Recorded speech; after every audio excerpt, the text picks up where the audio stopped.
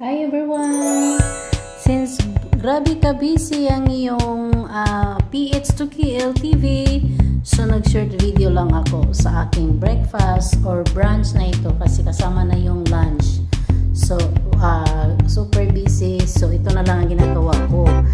Itong butan, butan sardines from Malaysia. Uh, yan. So, nilagyan ko na lang siya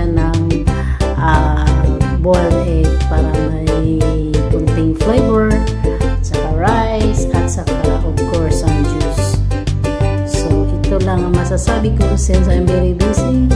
Thank you so much for watching and shout out sa aking ka-team Elite Squad, uh, Team Yahoo PH, and also sa aking uh, lahat ng mga ka-YouTubers. Thank you so much and hopefully enjoy kayo sa aking short video.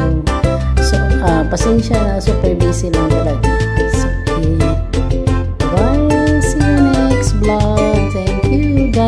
you all and I love you all.